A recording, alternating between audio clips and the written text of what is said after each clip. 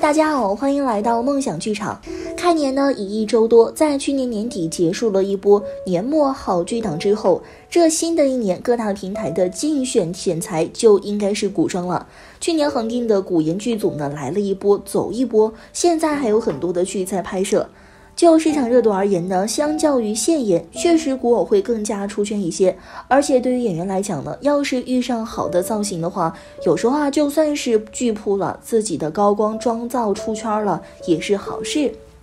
所以从去年开始，古装剧造型在卷，剧情在卷，如今啊纷纷取得播出许可了，在排期上也得卷，得选个好的档期上映。当然了，在众多的剧目当中呢，也有大魔王一样的存在，它播出呢既是小火，极有可能大爆，反倒是其他剧要避开的存在。而《御角记》就是如此，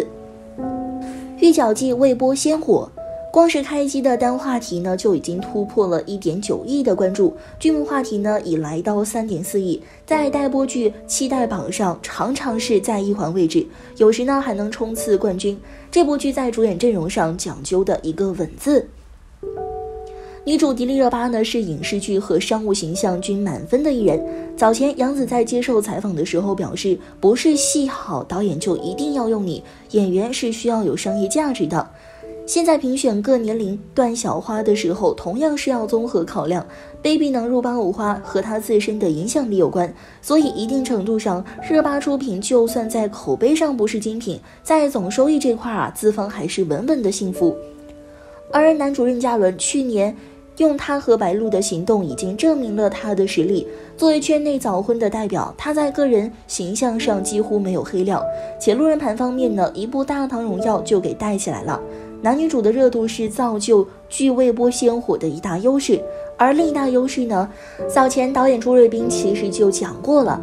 导演点评迪丽热巴字字珠玑。朱瑞斌呢是《御角记》的导演，这已经是他和迪丽热巴的第二次合作了。上次呢是去年的《长歌行》。迪丽热巴从出道以来，由于爆火的速度实在是太快了，所以啊，就算她是科班出身，存在于她身上的演技争议也不少，是每出一部剧就会被嘲的程度。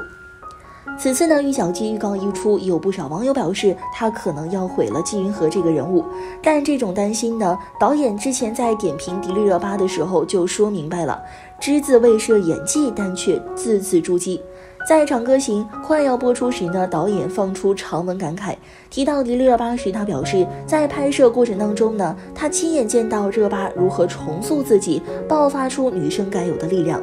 在剧情中呢，李长歌就是一个不服输的主，迪丽热巴的演绎将这个家族被灭一心向道的坚强女孩完美展现。